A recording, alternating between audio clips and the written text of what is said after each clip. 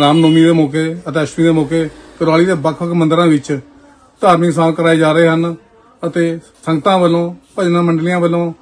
ਕੀਰਤਨ ਕਰਕੇ ਸੰਗਤਾਂ ਨਿਹਾਲ ਕੀਤਾ ਜਾ ਰਿਹਾ ਹੈ ਛੋਟੇ ਦੇ ਬੱਚੇ ਕੰਜਕਾਂ ਦਾ ਪੂਜਨ ਕੀਤਾ ਜਾ ਰਿਹਾ ਹੈ ਕੁਰਾਲੀ ਇਲਾਕੇ ਵਿੱਚ ਦੇਸ਼ ਵਿਦੇਸ਼ਾਂ ਵਿੱਚ ਵੀ ਕਿਸ ਤਰ੍ਹਾਂ ਰਾਮਨੋਮੀ ਮਨਾਈ ਜਾ ਰਹੀ ਹੈ ਮੈਂ ਜਗਵੰਤ ਟੀਵੀ ਲਈ ਹਰੀਸ਼ ਬਠਲਾ